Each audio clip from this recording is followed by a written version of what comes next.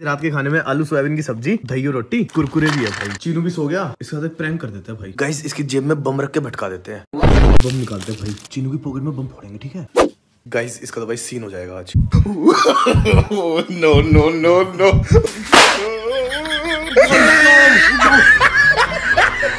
भाई चीनू लगी नहीं तेरे? चीनू लगी नहीं भाई? मुझे क्यों फोड़ा? भाई अभी भी अभी भी सो रहा है भाई। टेंट में आग लगी क्या? लगी नहीं क्या? इसको फ़र्क भी नहीं पड़ा कि कुछ हुआ भी है। वापस सो गया भाई। पहले बता रहा हूँ बम इतना खतरनाक नहीं था तो इतना वो मत करना कि भाई बच्चे के ऊपर बम फोड़ दिया।